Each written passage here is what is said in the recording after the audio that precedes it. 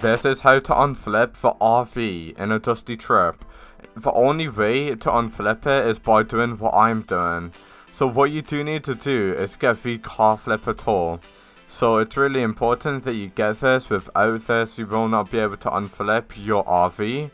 But even with this, it's still hard to unflip your RV.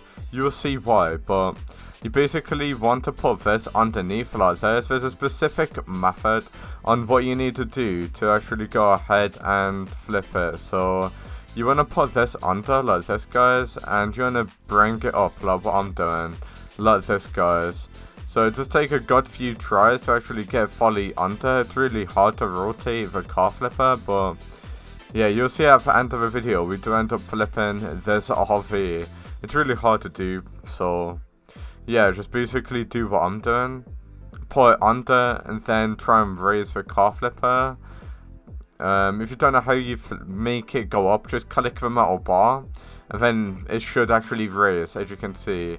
And this time we did actually get it up. So once you get it up, guys, you gotta get the tires. You gotta get the two tires where the side of the RV is down off and you're going to put the tyres underneath the RV so it stays lifted up like that. So if we get the car flipper off, we can put the car flipper in like towards the car more.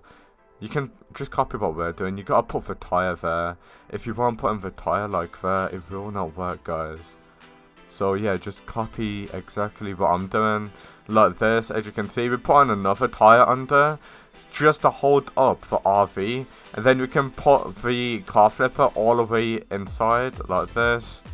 And you can now see guys, so we about we're about to flip it. So just make sure you put in like deeper like that guys and yeah, as you can see we flipped it. Easy. Hopefully this video helped you out.